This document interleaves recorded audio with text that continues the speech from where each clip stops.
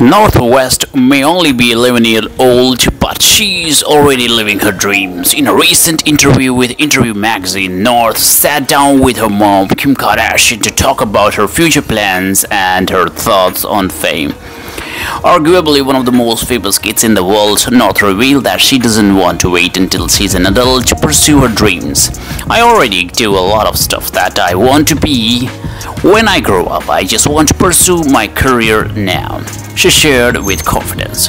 When uh, she's out with friends, North actually goes by a secret identity. She shared that she uses the name Katie Johnson when visiting places like Sky Zone, but she's already thinking about changing it. How cool is that?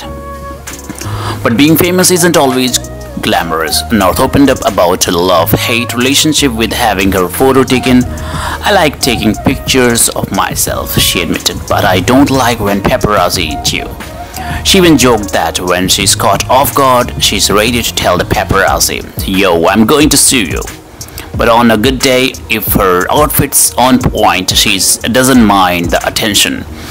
As for life at home, North didn't hold back about her siblings. She laughed about how when they are getting on her nerves, she's not afraid to say, You get out of my room, I'm not feeling this for real.